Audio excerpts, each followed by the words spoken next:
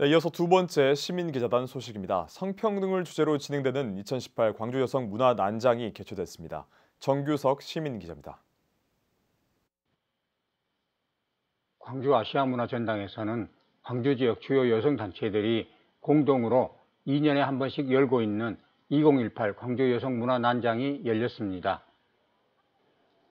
이번 행사는 성평등은 남성과 여성이 같은 존재가 되는 것을 의미하는 것이 아니라 기회와 삶의 가능성에 있어서 평등함을 의미하며 이는 곧 사람이면 보편적으로 누구나 갖고 있는 인권의 실천 운동으로 여성과 남성, 가족이 모두 함께 참여해야 하며 일상 속으로 성평등 문화가 스며들도록 하고자 마련됐습니다.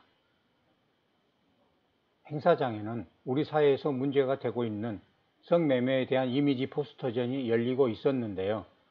성매매로 벼랑 끝으로 내몰리는 피해자를 줄여야 하고 여성은 함부로 사용하기 쉬운 물건이 아님을 알리며 성매매 근절이 모두를 자유롭게 한다면서 우리 모두에게 성매매의 심각성을 깨닫게 하고 있습니다.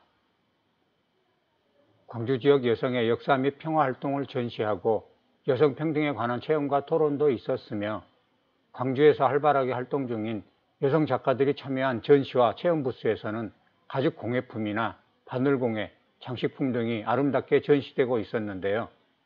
작가들과 함께 시민들이 현장에서 작가의 도움을 받으며 직접 만들어 보는 체험도 할 수 있었습니다. 5월 정신 공동체 구성을 위한 닭종이 인형과 함께 마을로 찾아가는 5월 여성 평화 이야기 전에서는 다양한 종류의 닭종이 인형들이 1980년 5월 정신을 실감나게 표현하고 있었고 시민들이 찡그리거나 미소 짓는 모습으로 표현한 평화 얼굴 만들기 그림들도 전시되어 눈길을 끌었습니다. 불평등을 초래하고 있는 사회적 관계와 제도의 변화를 요구하고 있는 광주 여성문화 난장에서 CNB 정기석입니다.